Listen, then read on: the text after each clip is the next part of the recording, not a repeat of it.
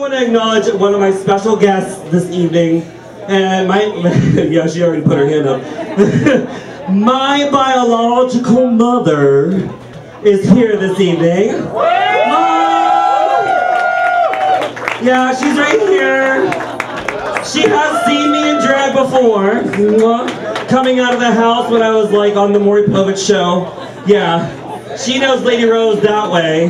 But since I've moved out, I don't know how many years, like, like 12 or so years, um, she has never been to a gay bar, and she has never been to a drag show. So, and all my family's here, my Aunt Kathleen, my, oh yes, they're all here, they're have a fun time. So let's show them how a drag show, a pageant, and a gay bar parties, okay? I'm so happy that they're here, girl. Thank God you came, okay? Thank you. I'm gonna give this up to Thea so I can go change my tampon, but I'll be back. Love ya.